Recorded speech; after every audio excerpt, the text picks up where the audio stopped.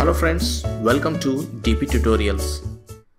A small question has been requested from our fellow subscribers Umar and Masood. The doubt is that how to combine multiple worksheets into a single workbook. That is, if we have some got some 75 to 100 tabs and if I need to make it into a one summary sheet, how to do that. So in this tutorial, I will explain you how to combine all worksheets into a single workbook. Here I would be using a VBA code in this example. But this code assumes that all our worksheets should be having the same field structure that is same column headings and in the same order. Okay. First of all, let me consider a small example in an Excel workbook. Here I have got three sheets 1, 2, 3 with fields containing name and city. If you observe, these three sheets are of similar order of columns that is name and city.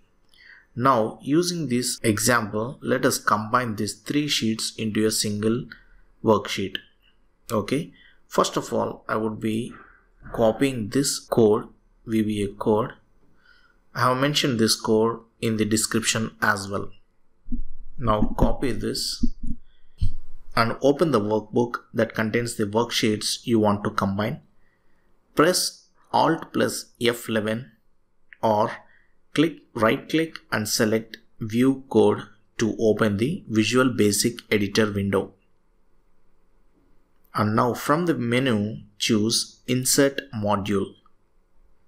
Now paste the code into this code window under macros click on view macros and select the copy from worksheets and click on run button. Then immediately you can observe that a new sheet called master has been created which is collating all the data from the multiple worksheets.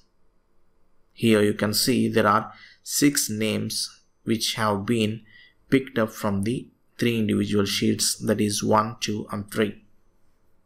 Got it friends?